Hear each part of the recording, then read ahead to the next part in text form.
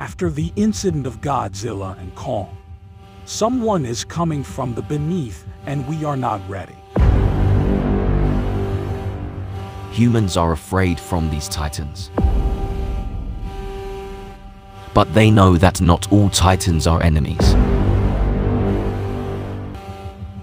We need them. They are hope. Monsters exist.